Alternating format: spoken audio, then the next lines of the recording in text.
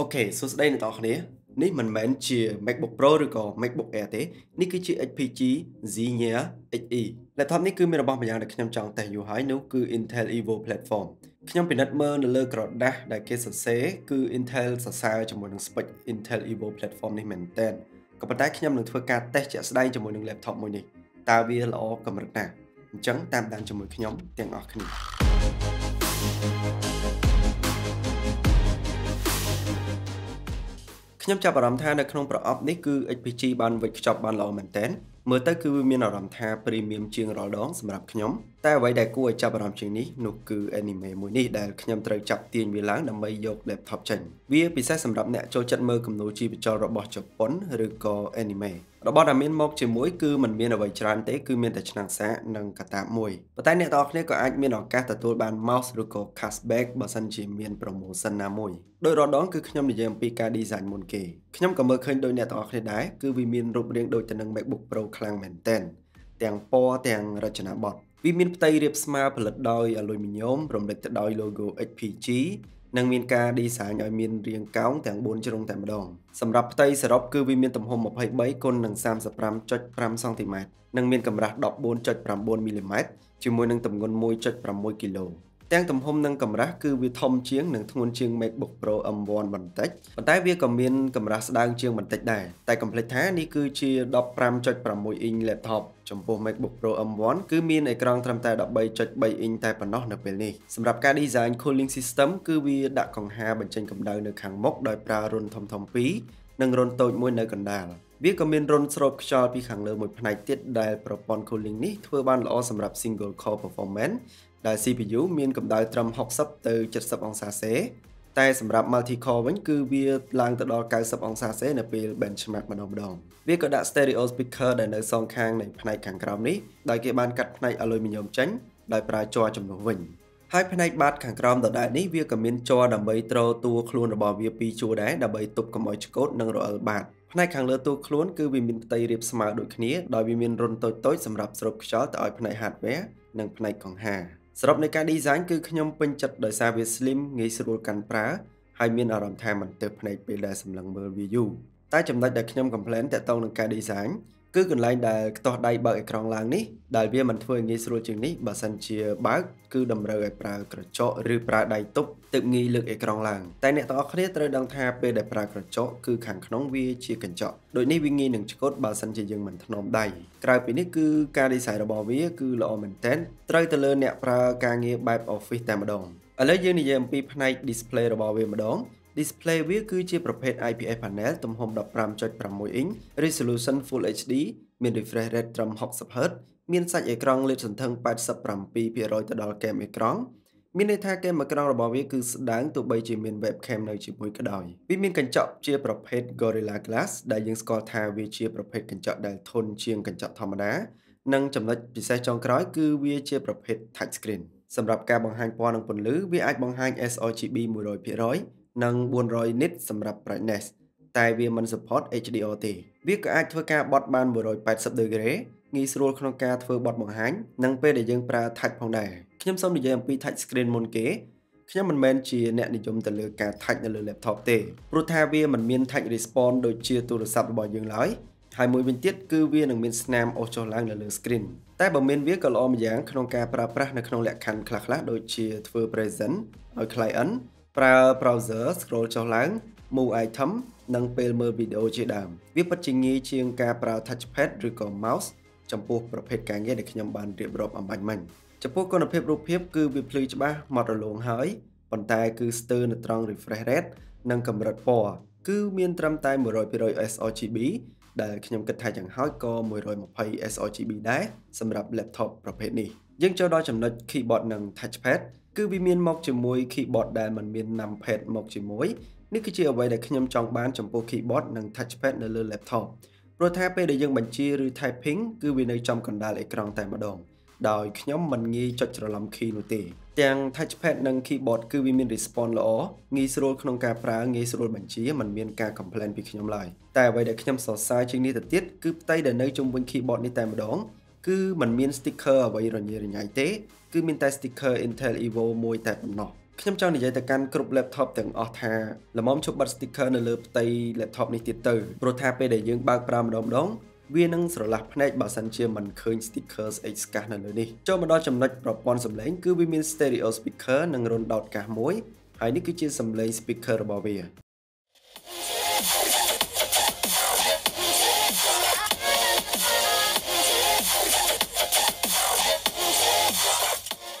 ខ្ញុំគ្មានការ complain ឡើយចំពោះ speaker វាមានសំឡេងច្បាស់ធ្ងន់អាចស្ដាប់ចម្រៀងនិងមើលវីដេអូបានมันមានបញ្ហាទេចំពោះ webcam វិញគឺវាអាចថតបានត្រឹមកម្រិត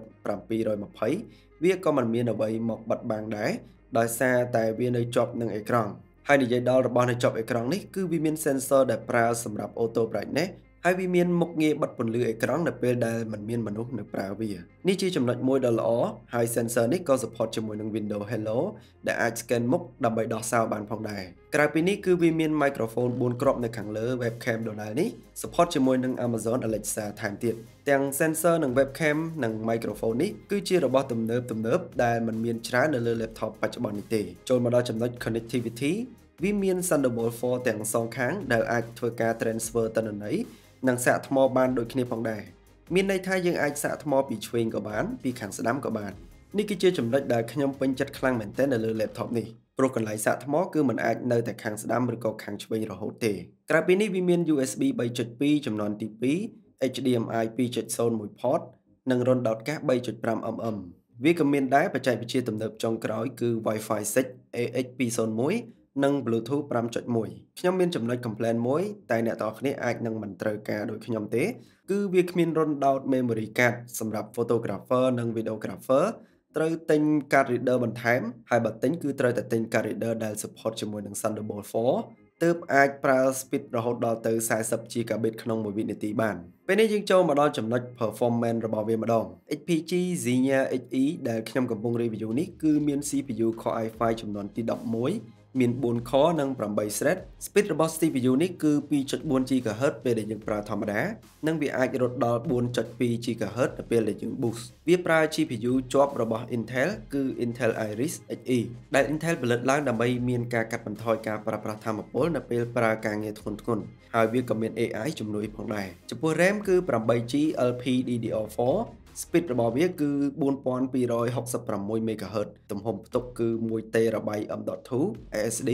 PCIe ចំនួនទី4ហើយវាគឺជា brand របស់ HPG ផ្ទាល់តែម្ដងគឺលឿនខ្លាំងមែនទែនថ្មរបស់វាគឺមានកម្លាំងត្រឹមតែ73វ៉ាត់ម៉ោងទេ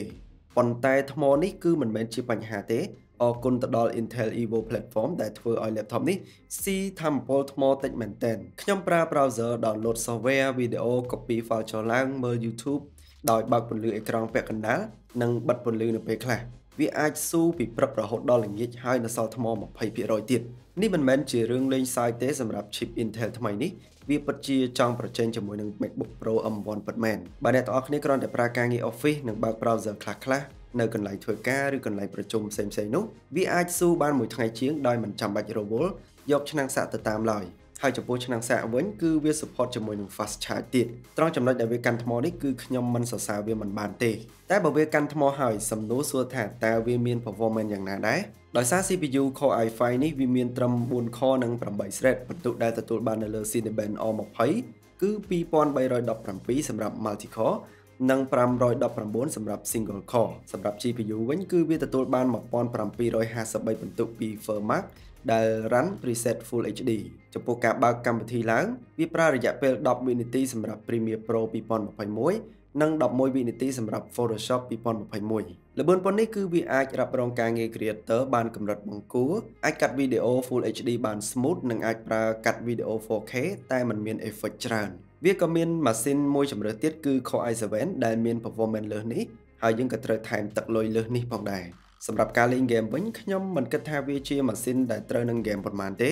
ព្រោះវាមានត្រឹម4 core និង8 thread ហើយមួយទៀតវាមាន GPU ជាប់លើសពីនេះគឺ display របស់វាគឺមានត្រឹមតែ 60Hz ឥឡូវចូលមកដល់ការ recommend របស់ខ្ញុំដែលយើងប្រើ laptop នេះឲ្យចំគោលដៅរបស់វាទាំងការ design ទាំងទំហំម៉ាស៊ីនលក្ខណៈប្រើប្រាស់ដូចជា touch screen ជាដើម HPG Xenia Xe នេះគឺផ្ដោតសំខាន់ទៅលើការងារដូចជាការងារ management នៅតាមក្រុមហ៊ុនឬក៏ស្ថាប័នផ្សេងៗឬអាចថាជាអ្នកដែលកាន់ឯកសារច្រើនត្រូវការប្រើច្រើនម៉ោងក្នុងមួយថ្ងៃ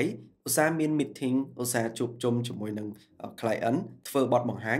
នេះគឺជា laptop professional មួយដែលអាចជួយសម្រួលទៅដល់ការងារទាំងនោះបានលឿនបើនិយាយពី gaming មិនមែនមានន័យថាវាលេង game អត់បានទេក៏ប៉ុន្តែបើសិនជាអ្នកផ្ដោតទៅលើការលេង game ច្រើនគឺខ្ញុំអត់ធ្វើការ recommend ទេដោយសារតែ CPU របស់វាគឺមាន4 core និង8 thread ហើយ graphic card របស់វាគឺអត់មានដាច់ពីគ្នាទេ គឺជាប្រភេទ graphic ជាប់មួយវិញទៀត screen របស់វាគឺ 60Hz ដូចនេះ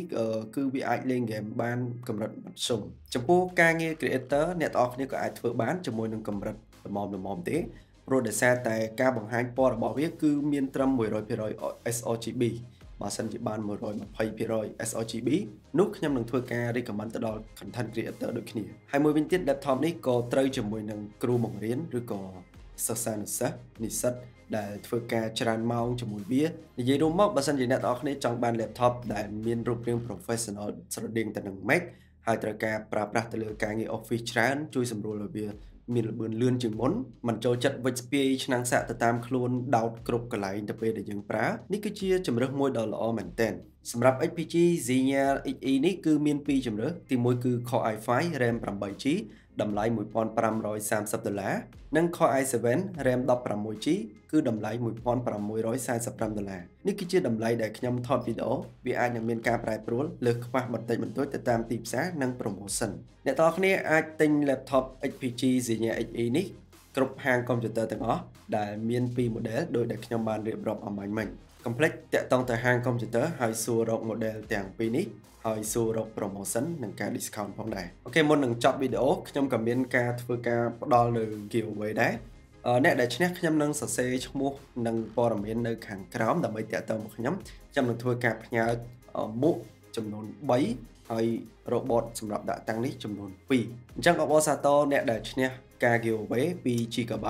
ហើយការ giveaway នឹងមានជាបន្តបន្តទៀតកុំភ្លេច join Telegram និង subscribe នៅខាងក្រោម comment ឲ្យខ្ញុំបានដឹងផងតាក់ទងជាមួយនឹង HPG Xenia XE អរគុណសម្រាប់ការទស្សនាជួបជាមួយខ្ញុំនៅវីដេអូបន្តទៀត thank you